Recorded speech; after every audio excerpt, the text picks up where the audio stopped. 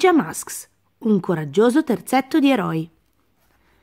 Gattoboy e il Pogodoser. Boom boom badaboom! Ehi, ma cosa sta combinando Romeo? Con un guantone meccanico di sua invenzione sferra colpi poderosi contro il muro del museo. E sai perché? Per rubare una nuova meravigliosa tuta, il jetpack, che permette di volare. Volando attaccherò il mondo con il mio spruzzapuzza, dice Romeo. Per fortuna però un coraggioso terzetto di eroi è già pronto ad entrare in azione. Amaya diventa Gufetta, Connor diventa Gatboy, Greg diventa Gecko, i Pijamasks. Ed eccoli alle prese con Romeo. Mentre Gufetta lo distrae volandogli davanti agli occhi, Gatboy blocca il meccanismo che muove i guantoni. Poi Geco, con i suoi muscoli da super Geco, ne stacca uno e si ritrova a saltare qua e là senza sosta. È difficile, ma con la super presa rettile lui riesce a tenersi forte. Per tutti i camaleonti, questo guantone si può usare come un pogo, dice, è un pogo doser. Gufetta intanto, in piedi sul laboratorio di Romeo, non si è accorta che il suo mantello è rimasto incastrato. Così, quando Romeo parte, lei non può volare via. Geco sta per saltare sul pogodoser per andare ad aiutarla, ma Gattoboy è più veloce. Io salto come un gatto, dice, quindi sono più bravo di te. E invece non è affatto così. Mentre Romeo si allontana con Gufetta, Gattoboy salta più non posso senza riuscire a guidare il pogodoser. Salta ovunque, fino a sfondare del tutto il muro del museo. Gattoboy cade, ma non molla. Vuole provarci ancora. A questo punto Jake ha un'idea.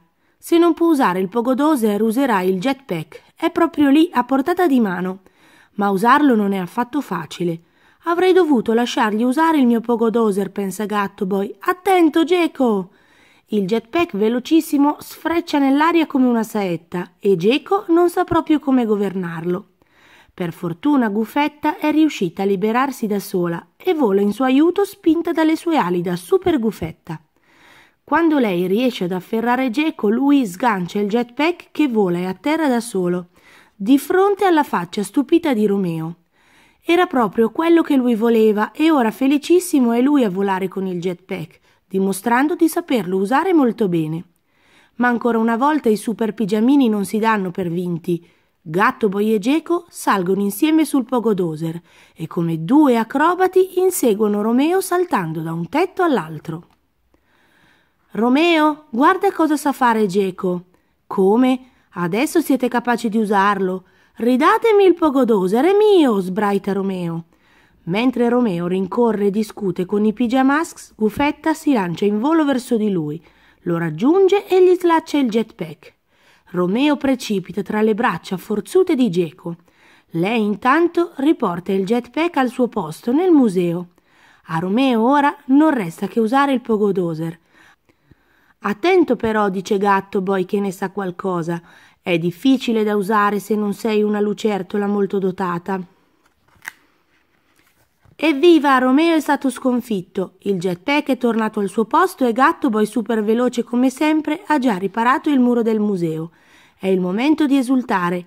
Super pigiamini fate festa? Sarà una bella giornata anche questa. Fine.